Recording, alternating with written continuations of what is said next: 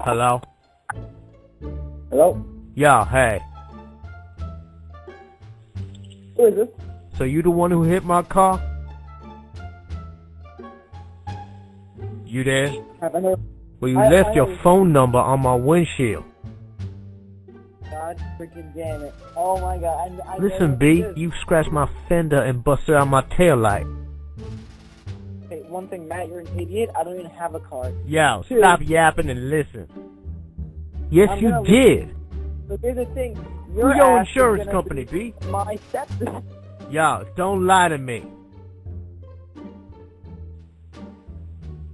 Got nothing to say, huh? Oh my god. Uh-huh. Then why'd you leave a damn note?